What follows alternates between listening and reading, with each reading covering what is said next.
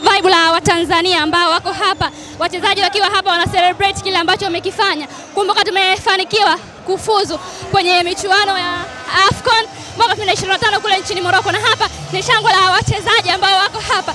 Tutazungumza nao mmoja baada ya mwingine. Hapa ni furaha ambayo inaendelea katika uwanja wa Benjamin Mkapa, wachezaji wakiwa hapa, lakini wachezaji mbalimbali wako hapa ah, kwa ajili ya furaha. Nitie Msuva. Kinachoendelea hapa ni furaha kubwa kwa wachezaji.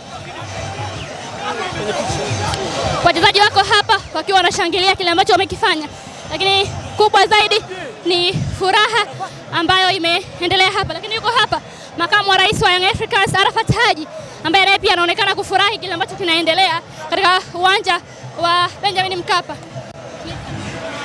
Arafat Weka mfuate, yeye interview fanyeni hapa. yuko hapa. mfuate, yeye interview fanyeni